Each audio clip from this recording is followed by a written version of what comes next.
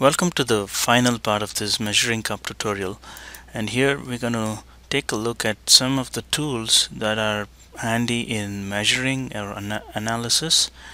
Uh, for example, since we have designed a measuring cup, it'll be nice to actually know the exact volume of this cup. In order to do so, we just need to do a couple of things. First of all, I have found that value in ml is 473.2 and also this value 3.66 inches equals 2 cups. So what I've done is basically if I move 3.66 inches up from the bottom that's where the plane lies to create 2 cup volume. First thing is we need to actually extract some surfaces on the inside then create a plane at 3.66 inches above Z and then we'll do a make manifold to give us the actual volume of the cup. So let's start by going to modify click on surface extract. Let's go to duplicate mode combine the selection and then select these surfaces.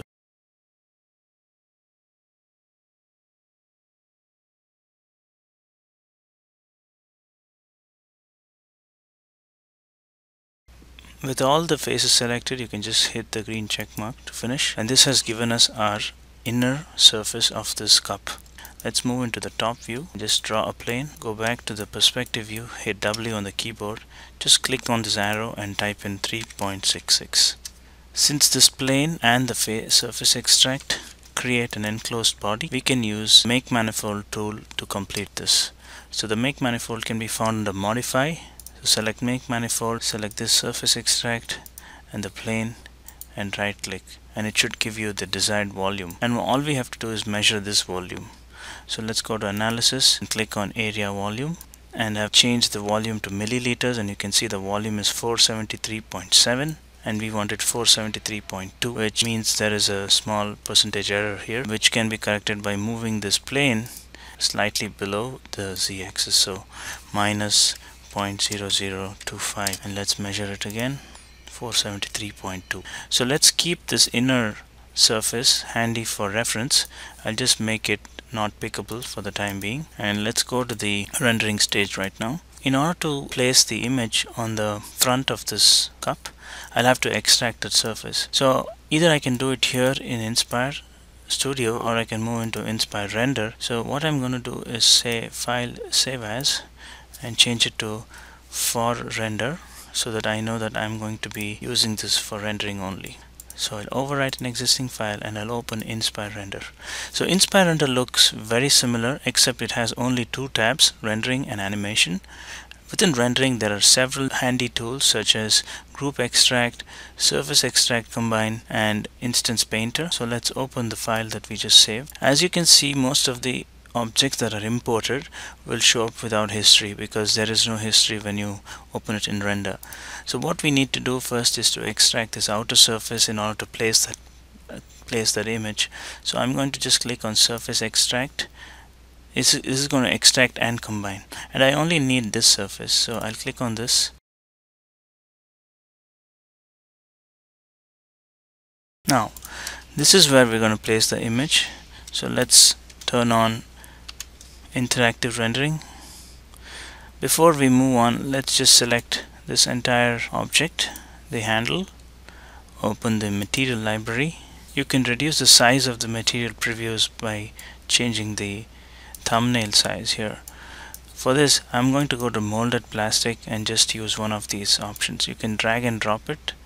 You can also reduce the size of this texture by going to texture positioning and changing the global size to change the color of this particular plastic you can just double click on it and click on the color image and just choose an appropriate color. Let's select everything in the view apart from the handle and then apply a plastic transparent texture.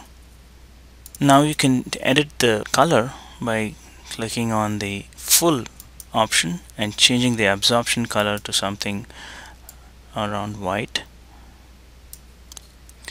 now since we're using the inner surface it looks a bit awkward because when I turn it off you can see that uh, things start looking much better. Right like this. So let's we're going to keep that on just to place the image. So we're going to select the surface extract and click on texture positioning.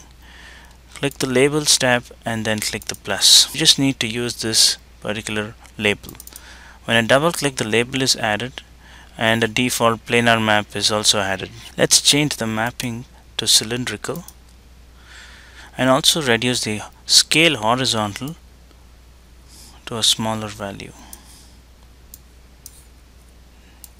you can rotate the texture by holding the top or the bottom preview handles here. You can also reduce the height by moving these handles. I'll go into the front view and turn on wireframe mode and just ensure that measurement ends where we have found cup mark to be. The measuring cup image would be placed in the correct location. The last thing I want to do is to also extract the surface on the top and apply a frosted material to it.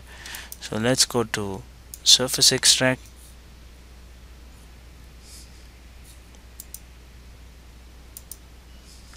and for this material I'm going to go to glass frosted and just drop this frosted glass. And let's turn on the interactive render to see how it looks.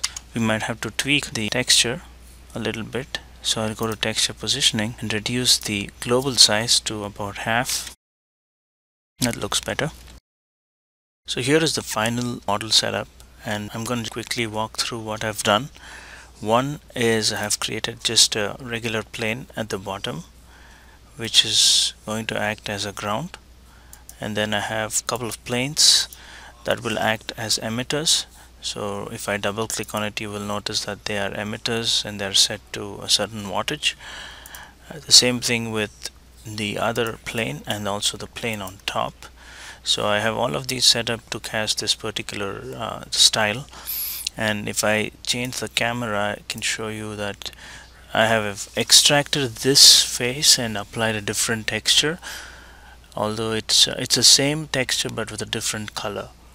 And if I look at the frosted glass it's um, only for the top surface as I showed earlier. And I also did a quick render of this one. One of the things that I wanted to share was the option to do relights after you finish rendering which means you can turn on all the lights and render the scene and then tweak them individually in the darkroom so this is the setup that I've already rendered so let me switch to the darkroom so here is the rendered image that you can see. I am currently in the image browser tab. This R on the image thumbnail will tell you that it's a relight. So if I go to relight, there are several lights that are available for you to turn on and off and each of them have their own option of intensity and color. So I can hit the solo button to make only one of them light up the scene or I can turn only um, turn certain lights off and create a different sort of an effect. So if I don't want these two planes to emit any lights I'm going to just turn them off. So I'll get a different view. And if I want to change the color of a certain light I can just click on this and change the overall look. Also there are several effects here that you can play with in terms of tone mapping. Uh, you can add burn gamma sharpness and you can also add some uh, visual effects like glare and vignetting. So all of these options are available in darkroom and it's really cool to play around with these. And when you're done you can either reset it or save this current setting of all the effects. I'm just going to change this light back to white. Click save here so that I can save all these effects with the image. In a future tutorial we'll take a deeper look into darkroom and all the options available.